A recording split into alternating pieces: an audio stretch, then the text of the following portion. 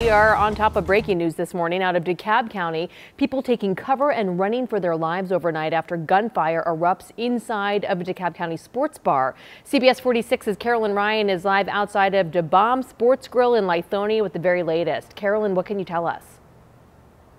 Yeah, crime scene investigators just left here a short time ago, Megan, uh, after really a dramatic uh, shootout overnight uh, taking place here at this sports bar slash nightclub. Patrons inside DeBomb Sports Grill running for cover after a brawl turns into full on gunfire. It all happened just before 4 a.m. Police telling us uh, there was an off duty officer here working security outside. He was alerted to a fight that was going on inside. He went in to check it out. He heard gunfire, so he called for backup and he started getting patrons outside to safety. Well, about that time, the fight spills out uh, into the parking lot as backup officers arrive, they see a man shooting at a vehicle trying to flee the scene. So one of the officers pulled his weapon and shot at him.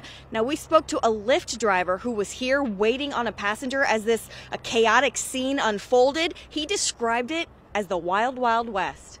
You heard the commotion of them coming out of the club and then there was a gentleman in a red hoodie that kind of ran by my car and was shooting back at them. So I just hit the ground. I was just like bullets flying everywhere. I just don't want to get shot.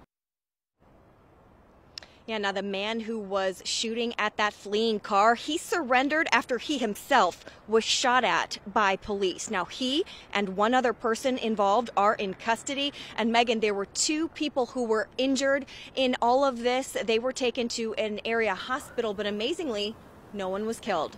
That's the story here in Lithonia this Saturday morning. Carolyn Ryan, CBS 46 News.